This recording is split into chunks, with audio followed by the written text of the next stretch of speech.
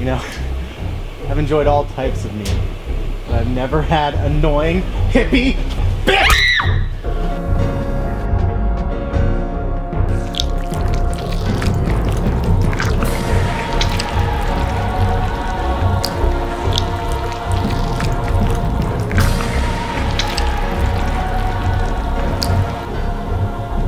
Subscribe by clicking the video